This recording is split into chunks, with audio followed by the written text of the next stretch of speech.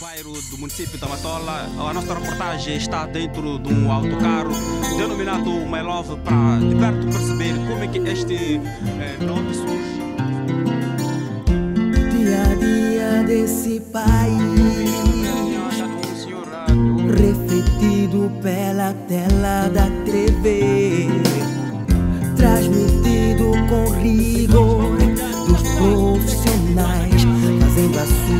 informação chegar.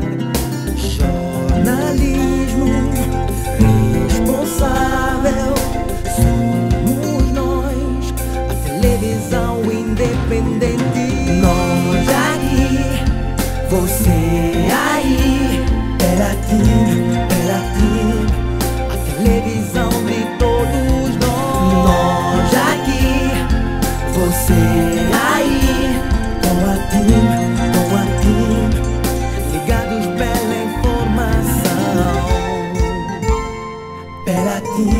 pela. Parece-me que eu gostaria de ter este Fernandes. Com a com a